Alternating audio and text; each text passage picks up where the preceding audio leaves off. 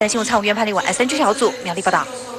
而蔡英文今天继续发表他的十年政纲，那么今天要讲的就是台湾的区域发展与平衡的问题。蔡英文强调，马政府对于台湾南北发展明显的头重脚轻，长期不重视南部的区域建设，所以他说，民进党如果执政，就会注意到这个南北发展平衡的问题。带你来听。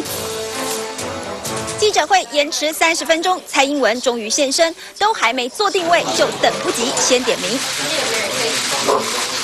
蔡英文口气就像蔡老师，分门别类说明十年政纲。这回要讲的是区域平衡与发展。蔡英文强调，马政府执政三年，却让南北发展失衡，头重脚轻。马政府在呃整个施政的期间，对南部的重视的程度是真的不足哈。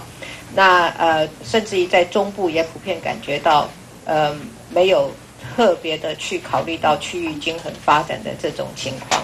新国民党时代是政策性的打压，欺负南部人，南部人不服气了。所以今天哦，我今天觉得说，我们女人还是比较坚强啊，我不会动不动就哭泣哦。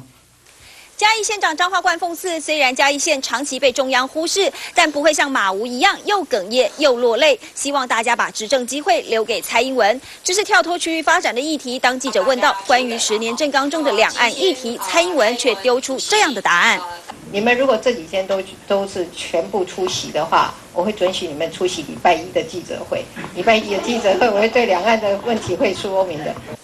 不知道是两岸问题太敏感，还是担心政纲如果先曝光就会模糊焦点。蔡英文真的很在意，坚持不回答，要记者场场都出席才听得到答案。